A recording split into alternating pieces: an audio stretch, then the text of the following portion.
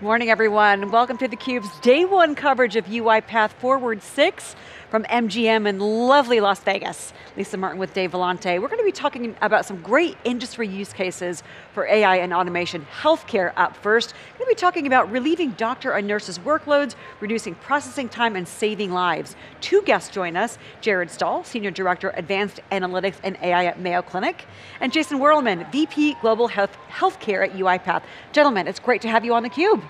Happy to be here. Let's dig in. Jared, give, everyone knows the Mayo Clinic, so many amazing advances in healthcare have come from Mayo Clinic over the decades. Give us a sneak peek into its automation program. Yes, it's been a remarkable transformative journey over, over the years, you know, evolving from experimental to um, really building out a centralized model for care uh, in, the, in the lens of using automation uh, with efforts to reduce administrative burden, uh, to give specialized tasks back to humans, and really help fully optimize the areas that we can focus in on, um, again, to give, to give that time back to our patients, which is, of course, what's most, most important for us. Talk a little bit about how at Mayo Clinic you've successfully built an operating rhythm that's really producing results for the clinicians, the patients, everybody involved.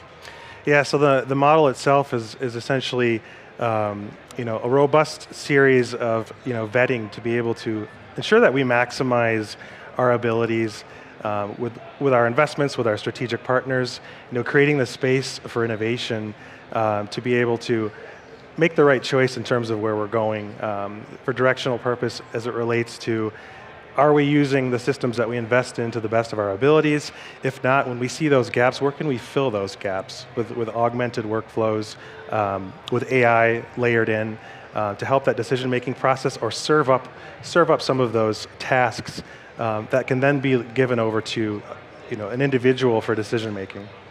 Jason, we were talking in our open about some of the early RPA days. You had, you know, big long tail where customers maybe had just a couple of bots, you know, kicking the tires and so forth, but then there were some real successful examples of, of scale. What are you seeing in healthcare? It's a two-part question. What are you seeing in healthcare in terms of greater adoption and that scale? And are you seeing a shift broadly from, from back office, any indication from back office to front office? Yeah, absolutely. And um, we, have, we have seen that shift, and it's, it's taken a while. I, I think to Jared's point, a lot of the programs were very tactical, uh, plugging in gaps, uh, optimizing costs. I mean, there's a lot of interoperability in healthcare today. There's still a lot of interoperability in healthcare today. But what we're seeing is automation becoming a part of the mission of care. Um, and when you put a mission behind anything, you become visionary. And when you drive vision, then you see things at scale. And now we're seeing uh, automation becoming a part of enterprise programs not just the technical program, but also the way they deliver business, the way they transform. I don't think it's a, a, a, secret of the impact the world has had on our clinical staff, the shortages we've had, and now they're rethinking the way that clinical workers come to work. You know, the work that they do, the administrative work that they do, how can we alleviate that type of uh, outcome? So where it used to be, I have a process, I want to optimize that process, now it's I want to optimize the whole staff so I can give more time back to my clinician. And to that, automation has become key to that strategy. Rob, and Rob actually alluded to that in his, in his keynote this morning. Jared, I want to kind of double click on the use case here. Revenue cycle management, or RCM. Why did Mayo Clinic start there? Why, why was the focus from automation there, optimizing the financial optimization of the healthcare, of the um, health system? Give us that kind of strategic vision. Great question you know, when you look at the healthcare landscape and the opportunity to bring this technology in, in arguably the most regulated industry on the planet, you know, where's a good place to start, you know, to prove the concept to the clinicians? That's revenue cycle. When you make a change in that domain, you almost instantly always see an ROI, right? Where maybe people are checking claims manually to a, a federal site to see if there's updates, statuses for overturn. We have, we have APIs, we have bots that are putting those things together, automatically serving up details and data in the system so that people don't have to go out and check. The value add work comes to them instead of the other way around. And again, that, that creates capacity. You know, to Jason's point, we have a shortage in various domains across clinical and non-clinical enterprise. The answer is not filling it with more warm bodies. The answer is creating capacity in different ways and more innovative ways, and this is a very key strategic way to do that. And, and so regulation compliance was a, was a catalyst? Was it, was it meaningful use, for example, that, that drove that? Or was it really more sort of just get better productivity instead of have to hunting and pecking for, for regulation changes? Yeah, I think it's really about, uh, again, going back to that element of creating capacity. There are individuals who have varying levels of specialization. They weren't working at the top of their license. And so they had to do all of this other work to get to that value add work and our innovations through the course of automation brings them closer to that value add work. And so again, it, some, some of this work we didn't even have the capacity to get to before implementing solutions, especially in that claim status domain or denials processing. Uh, that, that was only possible by implementing tools like this. Um, uh, to, to, create new work, to augment existing work, and to reimagine what the future of work looks like after that, right? Really taking them out of the element to see, um, you know, it's kind of hard to look at your kitchen while it's on fire and say, gee, we really need to remodel, right? you have to pull them out of that and, and, and give them the ability to create and, and think about that future outlook after you augment and change and innovate the area that they live in currently. How is that, I'm curious, Jared, uh, continuing on that, how is that from a cultural perspective to change the behaviors of the clinicians? Obviously, it sounds like what you're aiming to do is give them the capacity that they haven't had, but that's a cultural shift, I imagine. It's a huge cultural shift, and there's a lot of thoughts and ideas both with, you know, the clinicians, our workforce, with our strategic partners, thinking about, you know, is this all right? Is this something that we should be doing? And you know, we have had a lot of experience with this synonymously with other solutions that we've worked with in the past. So sometimes it's creating the understanding of the similarities between the two, but also, you know, creating a clear, transparent understanding of what this is and what it can do. And that's really what we've done on our journey in the, in the revenue cycle domain as sort of an example for the rest of the organization to say, this is what this is. This is the art of the possible. When you think about automation, when you think about AI, this is truly what it can do. And we've seen people's minds open up to that over time as they mature in their understanding of that, come to the table more and more with those ideas, with those thought processes about how to transform and how to innovate and bring those things forward. But it's a journey. Well, uh, Jason, Jared kind of alluded to it earlier in his remarks. I mean, we saw it in COVID. I mean, just nurse burnout. Um, I know personal experience, my daughter was studying nursing and then the whole COVID experience changed her mind and now she's doing global health. So, and I know many nurses that are just, were so spent. Are you seeing automation having, it sounds like it is, but you could double click on that, having an impact on that sort of clinician burnout factor? Is there light at the end of the tunnel? Absolutely. Uh, as Jared said, capacity is, is really the key word here. Um, you know, when we talk about revenue cycle, a lot of organizations start there because it's, it's all about risk. Being the largest regulated industry in the world and also the largest employer in the world, you want to introduce risk into areas that are going to impact patient care. So you normally start in revenue cycle and you work way up.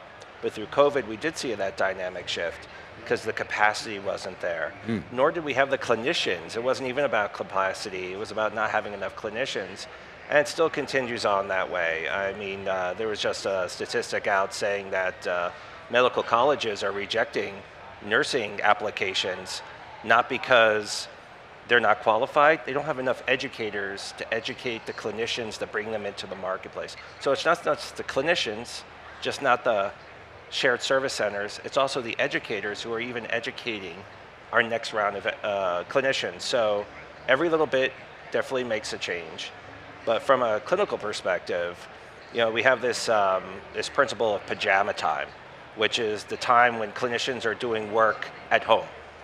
A lot of times it's uh, data entry based work. They're scheduling appointments. They're looking at pre-appointments before you actually go in the next day and talk to your physician. Because if you ever had this experience and going and talking to the physician and they're typing on the computer at the same time, clicking boxes, uh, there's a number of reasons why they might do that during the appointment, but a lot of times it's because they're closing these gaps that are essential to your care, especially if you have a, uh, disease state that they're tracking. So what happens is these nurses in the evening, they'll close that so the clinician doesn't have to, so they can have a meaningful, value-based conversation with you. Those are two to three hours worth of work for administrative nurses for most hospital systems because they can't do it during their daytime. So these, these types of um, processes could be highly automated. Not, they're not clinically impacting, they're not making clinical decisions. What they're doing is they're accelerating the work and turning a researcher into a validator and a validator into a clinician at the end of the day.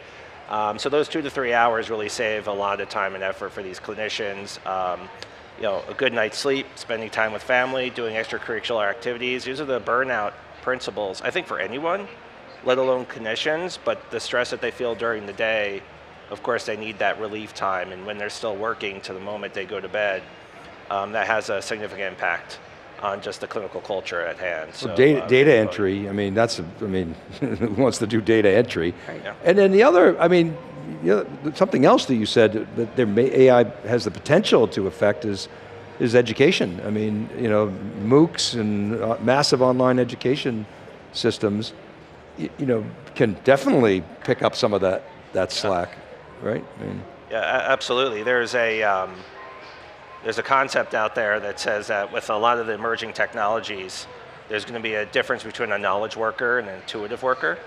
I think clinicians are absolutely an intuitive worker, right? Um, but I think we all got started as a knowledge worker, right? So as we um, we really uh, bring more of these technologies into play and we start to uh, move these knowledge workers to intuitive worker, I think there's a lot of change management to Jared's point that's going to be required because there is a comfort in clicking boxes sometimes. There is a comfort in doing data entry. We say we don't like it, but at the end of the day, we all got started that way.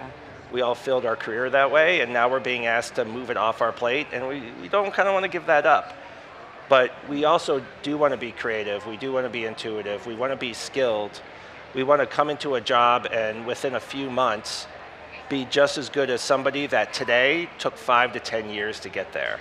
And those are sort of the gaps we need to hmm. close in care, and I think the technology is starting to close that gap quickly. You mentioned the word comfort, and it's, from a change management perspective, that's a hard force you're fighting against. I always say to people, whether it's something personal or professional, get comfortably uncomfortable, because change is obviously the one constant. Jared, I'd love to, on that front, for you to kind of share some of the best practices. If there are folks out in the audience who might be where you were a year or two ago, what, you, what is your, some of the best practices that you've learned to help drive a culture of automation within Mayo Clinic and, and really get those folks comfortably uncomfortable? Absolutely. I think it's, it's about being transparent, it's about education.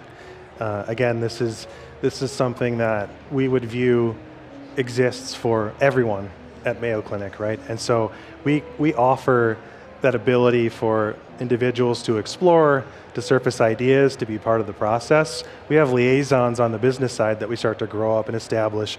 Our citizen program, again, exposing people to what is possible, familiarize them with these tools so that they have a certain comfort level and understanding of, of what would be applicable in this domain. And that really, I think, allows us to continue to accelerate as we mature that population and, and get them comfortable with the change.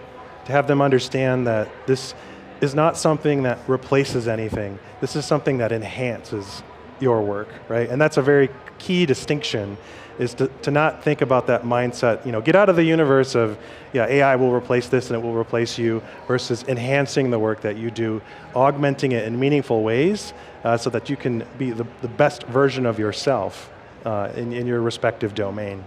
Well, that's certainly been our early experience with AI, right? We've all played around with it, said, oh, this is good, this is giving me ideas, and it's definitely not, you know, replacing.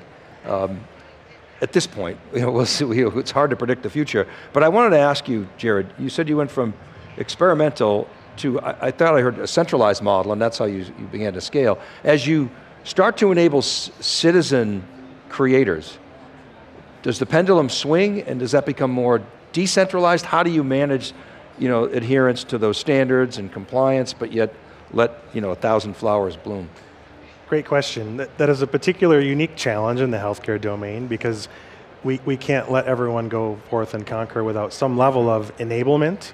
And you know, we, we look at the areas where people can work freely, create pre-approved levels of activities that you could explore in the automation and AI domains where maybe you don't have to go to a committee for approval because we've already cleared or cleared that pathway and then have other triggers and safeguards for those areas that might have risk associated with them. So there's the ability to allow those flowers to bloom, as you're saying, within certain pathways, but also have that guidance uh, and oversight when it comes to some of those more uh, sensitive areas in healthcare that we all know about. So. Can you give us a peek, Jared, in our final minutes here into the future of AI and automation at Mayo Clinic? What are some of the things that are on the horizon for you? Oh, so much. You, you know, Mayo has just a, a magnificent, innovative culture. Uh, we have the ability to work in a platform mentality that gives us this ecosystem to allow multiple different groups to thrive and go in different ways by utilizing that same platform mentality, right? We have our strategic partners, um, but we don't look at it from a pipeline standpoint. We look at it as an ecosystem to be able to create and leverage, and the communities that partner with us also allow that to happen. Um, so I think there's a lot coming down the pike, you know, as it relates to generative AI, large language models, ambient listening, process automation. Uh, we're, we're really looking at what the next step will be uh, in, in Mayo and all of those domains, and there's a lot coming up down the road. Jason, last question for you. Give the audience kind of an understanding, RPA plus AI together, how does it reduce the barrier to automation? Why should folks be thinking about this combination? it's really the barrier to complex automation. Um, and Jared and I have been in a lot of these conversations recently. I mean, a lot of the technologies he just he just mentioned were really difficult to implement for the health, let alone healthcare, any organization. I think anytime you make multiple investments and you're trying to bring it together and orchestrate it, you're you're upside down typically on the business case to actually do it, or it extends so many months or years that you actually lose the momentum or the interest. And what we're seeing is RPA plus AI, it really becomes a practical way of delivering these complex use cases. Things that used to be nine to 12 months with a large army of you know, experts trying to deliver, now it's a few months with some creative thinking because that barrier to entry is lower. There's pure play integration. And like I said, my, my favorite word is practicalness. You know, there's a lot of practicalness still needed in healthcare. Art of the possible is absolutely needed. But I'd say let's move to the uh, science of practical. And RPA plus AI, I think, actually enables that now for the first time in a long time. Where it's just not a great thought on paper, it's something we can actually put in our hands and deploy. Yeah. Guys, thank you so much for joining Dave and me on the program talking about really what Mayo Clinic and UiPath are doing together to really enable clinicians to treat patients. This is truly impacting lives and lives saved. We appreciate your insights and your time and best of luck on the project in the future. Pleasure. Thanks, Thank guys. you so much. All right, for our guests and for Dave Vellante, I'm Lisa Martin. You're watching theCUBE, the leader in live tech coverage, covering day one of UiPath Forward 6. Stick around, our next guest joins us in just a minute.